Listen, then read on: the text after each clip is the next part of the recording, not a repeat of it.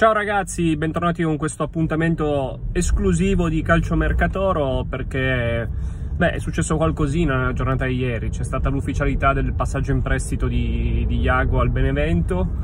E un po' mi dispiace perché comunque so che ormai ha dato quello che poteva dare. Sappiamo che non, non poteva più diciamo, dare molto al Toro soprattutto però mi dispiace che sia stato trattato così negli ultimi due anni perché soprattutto l'anno scorso secondo me qualcosina in più poteva fare, nel senso per noi, poteva darci una mano. Eh, hanno preferito darlo via eh, e me, me, ne sono dispiaciuto già l'anno scorso al Genoa. Eh, adesso il Benevento diciamo che vabbè, mi rendo conto che ormai sia a fine carriera anche per problemi fisici, quindi non imputabili a lui eh, forse l'errore della società è stato quello di fargli un contratto troppo lungo, questo sì.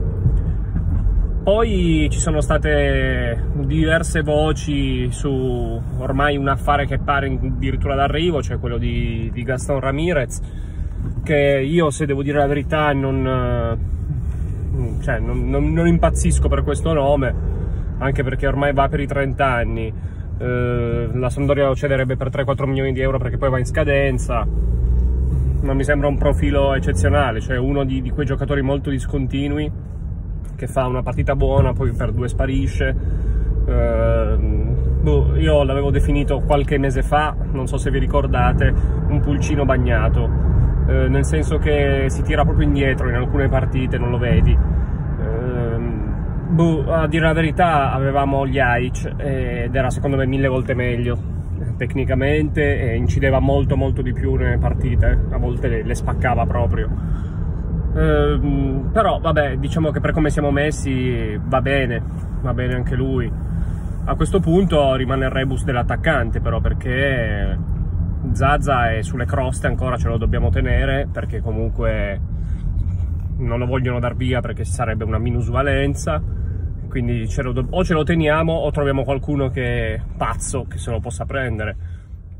Oppure come si come qualcuno vociferava si potrebbe addirittura pensare che Verdi diventi la, la spalla diciamo di Belotti Zaza in panchina e Gaston Ramirez dietro loro due. Buh, può darsi può essere anche questo. Cioè di fatto che a Belotti piace Zazza come, come partner d'attacco, il problema è che Zazza è scarso, quindi ci vorrebbe qualcuno come Zazza ma più forte, nel senso con le stesse caratteristiche sue che possa servire Belotti, possa aiutarlo, ma che sia in grado di fargli un assist a tre metri come era successo contro la Fiorentina. Joao Pedro penso che sia tramontata quell'ipotesi perché il Cagliari vuole troppi soldi per un giocatore che anche lì va verso i 30 anni. Mm, secondo me Cairo non investirebbe mai tutti quei soldi per una seconda punta.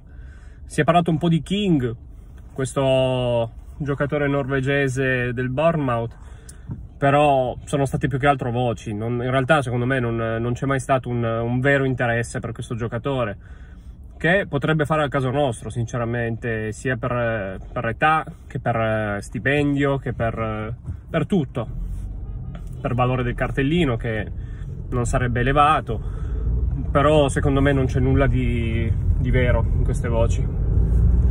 E per quanto riguarda Torreira, boh, sembrava fatta per l'Atletico Madrid, ma adesso sembra che ci siano stati dei rallentamenti pure lì, quindi boh, eh, sinceramente mi sto stufando di questa telenovela legata al regista.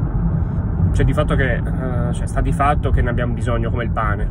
Eh, quindi Torreira o non Torreira, noi abbiamo bisogno di un regista, assolutamente. E non so come andrà a finire, perché ho l'impressione che poi alla fine se si dovesse prendere veramente Shone, magari è già bloccato, nel senso lo blocchiamo, poi nel caso si, se, se si prende Torreira bene, se no si vira su Shone definitivamente, ma non, non, non mi farebbe assolutamente impazzire, però eh, per non vedere Rincon eh, in quel ruolo va bene, va bene anche Shone. Guardate come ci hanno ridotto, cioè, ma è ovvio, quando arrivi a, cal- a fine calciomercato è normale, quando si sono sfumati tutti gli obiettivi che avevi, normale che poi vai a ravanare nell'umido e poi dopo anche la merda ti sembra cioccolata, scusatemi, però è la verità, è proprio così.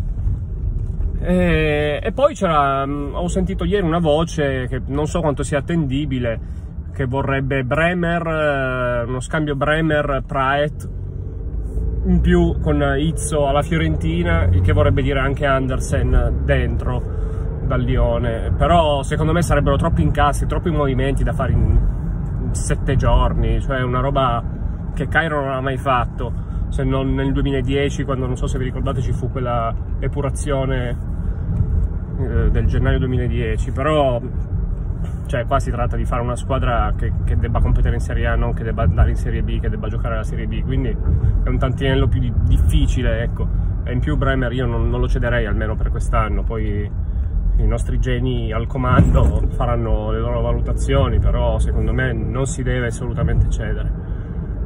Eh, questo è tutto, vogliono farci diventare insomma la, la Sampdoria eh, invece che il Toro. Mm, boh, Praet, Torreira, Ramirez, Murru. Ragazzi, cioè, eh, non parliamo di uno squadrone, parliamo della Sampdoria. Cioè, qua non lo so, Giampaolo conosce solo sti giocatori, boh, mi vengono veramente ben, tanti tanti dubbi relativi a questo allenatore. Comunque ragazzi, questo è tutto. Io vi saluto, vi ricordo di iscrivervi al canale se ancora non l'avete fatto. Ah, tra l'altro non si sa ancora se la partita contro il Genoa si giocherà, perché ci sono stati 14 positivi al Covid tra le squadre rosso-blu, quindi vedremo un attimo. Tanto ci aggiorniamo. Grazie a tutti e ciao!